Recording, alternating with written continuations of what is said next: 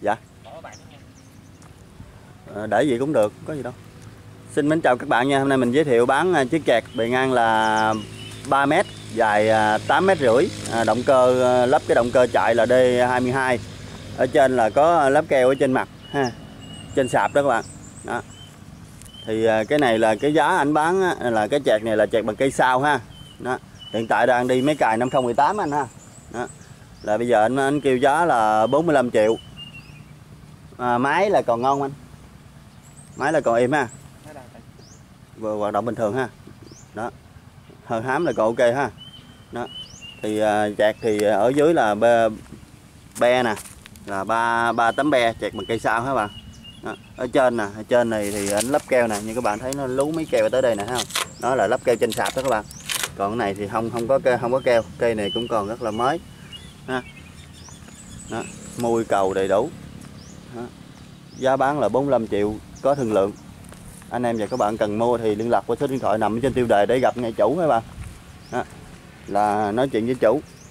Đó, đó thì à, anh em và các bạn à, cần bán đồ thì liên lạc qua kênh của mình bằng số điện thoại là 0352 915 395 mình à, bán không có ăn tiền cò ở trên đây mình chỉ ăn tiền quê hồng của các bạn à, tính trên cái video này rồi do đó nên là mình không có à, giờ cây cái giá cao ha.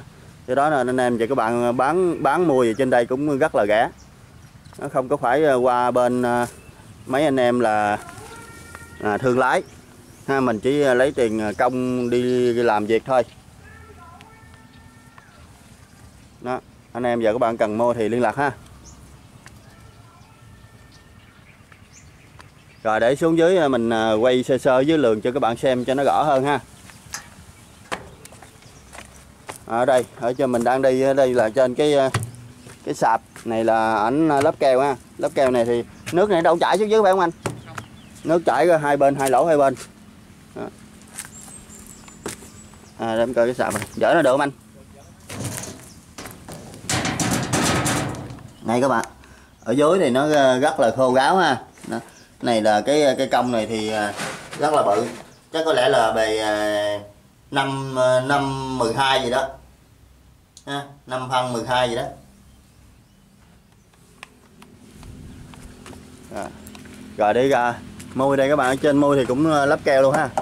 Ở trên à, môi ở trên thì cũng làm la phong cho nó mát.